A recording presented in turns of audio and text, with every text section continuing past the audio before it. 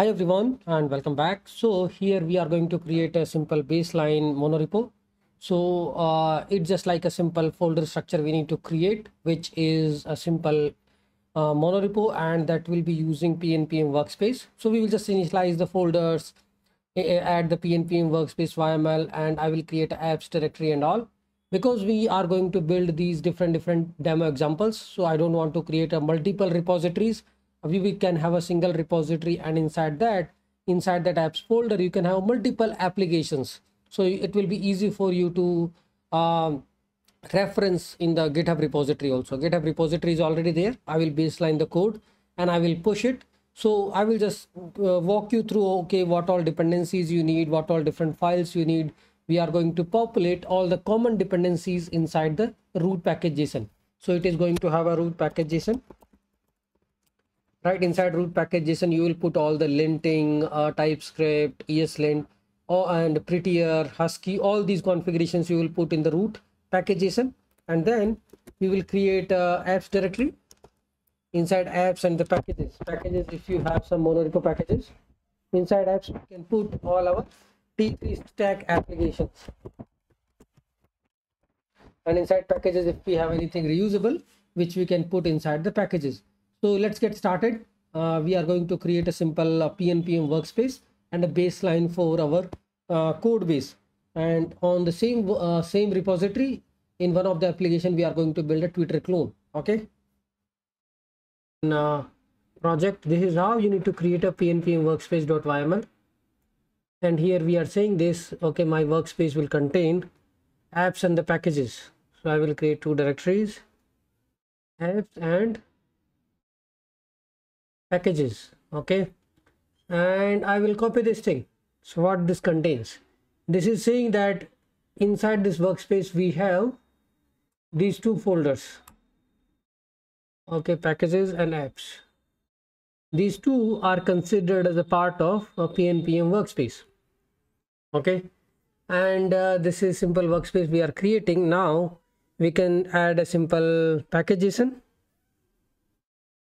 because we are initializing at the root also then we need to have a package json so i will go here. First of all git init. It is repository is initialized. And i can just simply do is pnpm init. It will give me a simple package json so that package json contains okay what is the the project name here. We will start adding the dependencies okay apart from that uh, what other information we need? Uh, we need to install all the common packages which we are going to add inside this. So this apps folder we will be creating uh, api app. Let's say i'll just name it as express auth uh, express js auth apis okay another full project i will be creating here is express uh, TypeScript API. And then the, the, the third application we are going to create is Express TypeScript Mongo APIs. I mean, you can say production ready. And these are the three different applications we are going to build. Apart from that, we might need a Docker Compose because in some projects we need a MongoDB access to persist the data okay. So we need that. And i will just create a readme.md and let's see what are common configurations which we need to put at the root. So coming back here let's try to see what all dependencies which we may need at the root which are common across all the projects. So i can think of eslint plugins. Right there are different modules eslint config prettier eslint config uh, uh, plugins which we need and then prettier rc prettier. And typescript all the packages. I'm just trying to add typescript because we are writing a node typescript in some projects. Currently this is the mix of typescript and javascript. First we will write a simple javascript express app and then we will use a typescript. Commit lint to add a commit conventions on our github messages and ESLint, Husky, what other configuration? ts-jest and jest. So these are the the plug the modules which we need. And this on top of this workspace we are going to add a monorepo tool nx so we'll add nx dependency. So these are uh, some of the dependencies which we need so i will just install them add the root package json and then we will create a different express application. So these are some of the common dependencies which we need at the root of the project. So here i will try to show you what all dependencies we are adding at the root of the project. So we are already in this. So npm install. And these dependencies all will be dev dependencies because here we are not writing application. Here we are doing the some running some tests running some running some prettier lint or commit conventions. All those things are there right? So what i can do is pnpm add. Okay uh commit lint cli this is the first dependency. Then we have lots of these dependencies right? E eslint prettier jest husky. And uh, we'll keep adding the other dependencies. Okay we are adding it to the root. Because we are adding that to the workspace. So it will add all these dependencies to the root. And then what I will do is rest all dependencies are same. ESLint config prettier. ESLint config ESLint plugin prettier jest okay here if you see our package json I will just move them to the dev dependencies I think this would be a command to add them to the dev dependencies.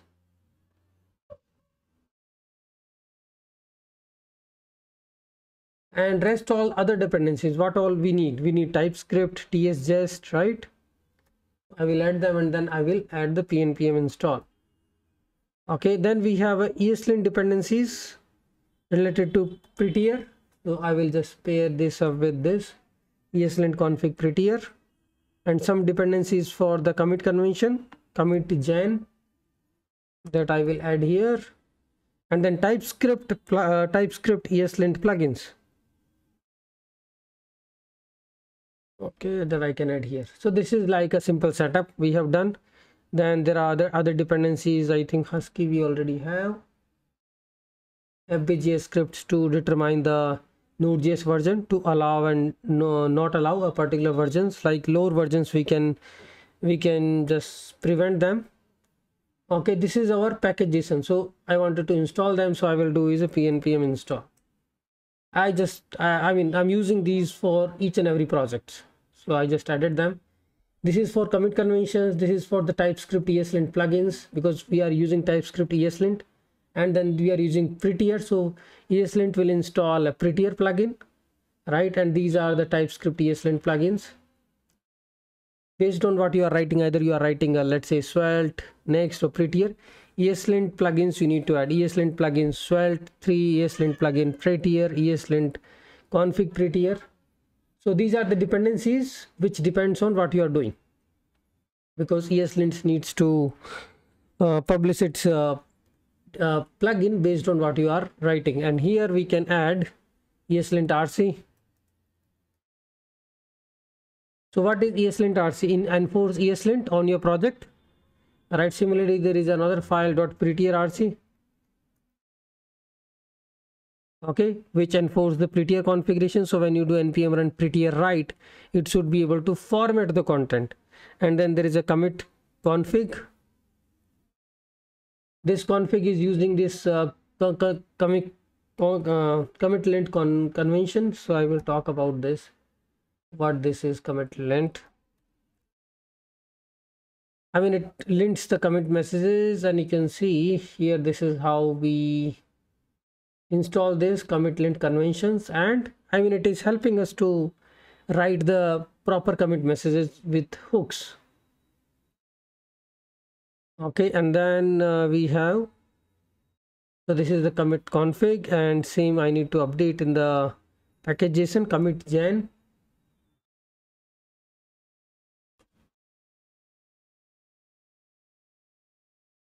okay then uh, we have all these things added here. What else we need? Eslint rc now eslint rc i will just use the standard eslint rc for the typescript based projects.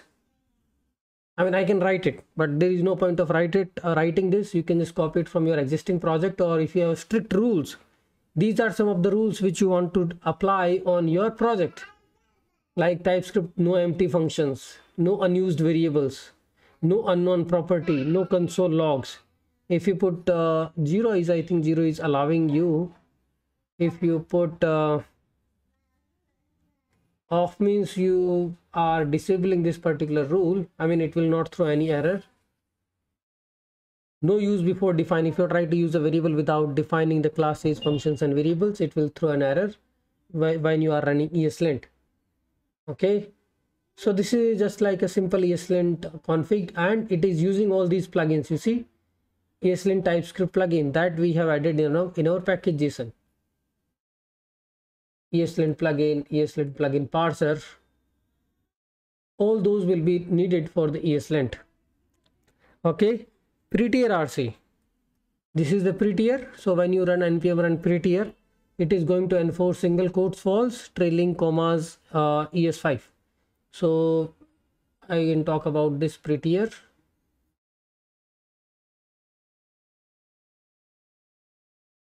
Prettier is actually a, a, module which is defined. Install prettier how to install it. Just uh, we are creating prettier.json or just prettier rc and inside that you will define the rules.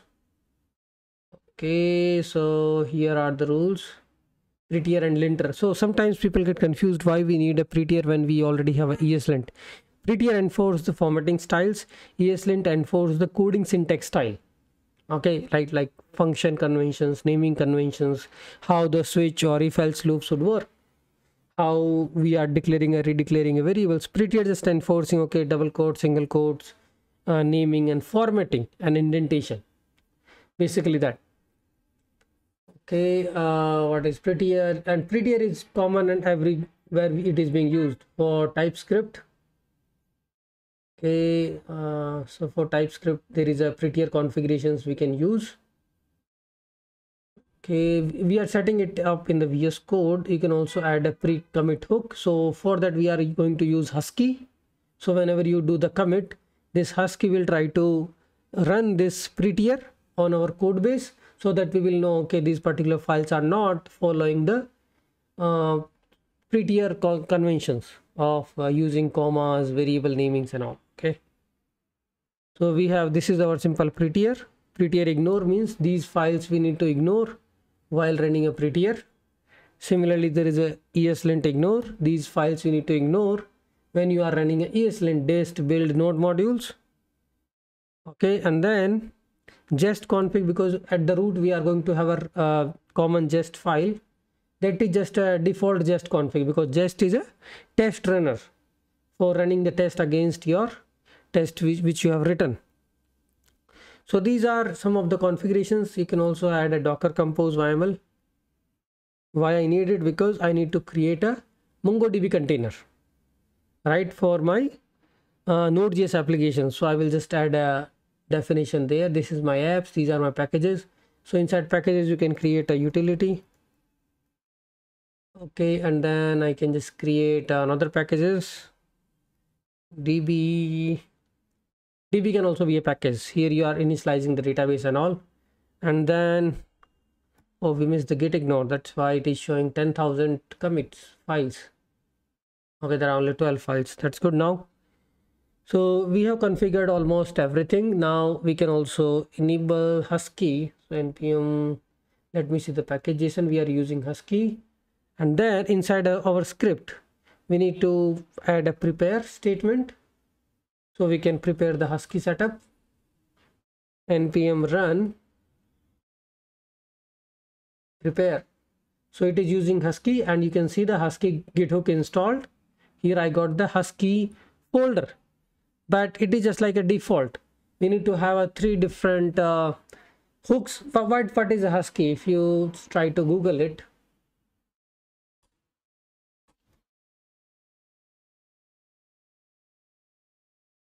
What is the use? It's like a git hook made easy. So sometimes when you want to commit you wanted to run lots of commands like build should be executed or prettier should be should run when you create a commit so even before you add the files to the stage or you do add a commit for those staged files before that i need to run this formatter like prettier. I need to run you can run eslint you can run the build command. All these can be hook attached to the husky. Okay so what do we have is inside .husky file we can create a pre-commit file. Pre-commit and these are the different uh, hooks you can create. So what i will do is inside husky i will create uh, some of my hooks. So here is our husky. I got husky.js so here i will add some of the pre-commit hooks. So inside husky i can create a new file which is commit message. And what this uh, husky will do is it will use the husky.sh and it will run this commit lint so it will just initialize this commit lint and then pre-commit and prepare commit message. These are the two other hooks you can add pre-commit and prepare commit. So it will it is running a lint npm run prettier right? And it is prepare commit message. So this is how it is using the it is preparing the commit message. Like it will give you the options is it a feature it is a bug fix or enhancement all those things. So if you try to do it npm run first we need to add a prettier script on our application. So we are using prettier right? So i will just go to package.json and this is how i can add simple prettier. Configuration okay why it is complaining?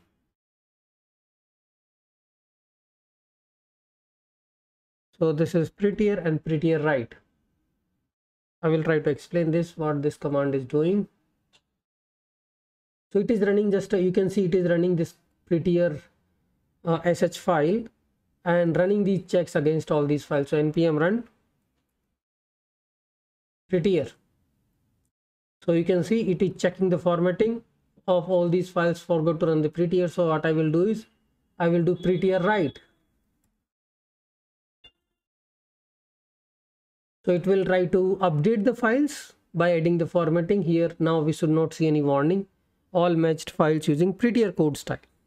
Okay? So this is how you can enable the prettier. You can also add a lint. I mean that is fine i guess. Lint is also same as I've been prettier. You don't need it. You can skip it. So here we have our basic setup. Now inside these applications we can create our express app at the root we have i think lots of things typescript node modules and all.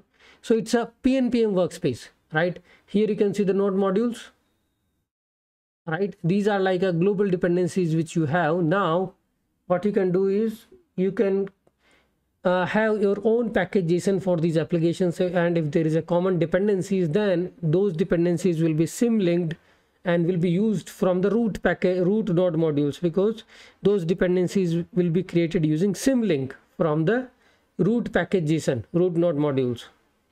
So that is the advantage. This is how the this pnpm workspace maintains the symlink of uh, the the root workspace dependency and the the dependencies which you are installing at the app or the packages. So this is application. These are the packages and we are good to go now. So this is like a simple baseline. We have we have added eslint rc prettier rc commit conventions. And if i just now how this commit hooks are working. So if i do git commit minus m now hooks should execute. You can see these uh, formatting hooks has been executed. And I will do is git add. And I will run this command again so it is checking the formatting and it is giving me these options. So who is doing it? This is happening through the conventional uh, commit. I mean these are the dependencies which we are using and that is happening through these hooks. Because when you do the commit these hooks are getting executed. And commit message because here it is using commit lint to allow us to give us this options okay what you want to enable like it's a new feature refactor i think it's just like a baseline for us.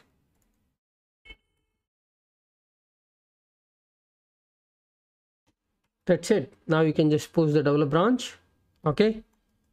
So this is a simple baseline for building the production ready uh, services and some demos which we are going to talk in context of node.js and express so see you in the next video. There we are going to create uh, with, uh, create a simple node.js auth without using typescript. Because we first we are going to write a quick and dirty.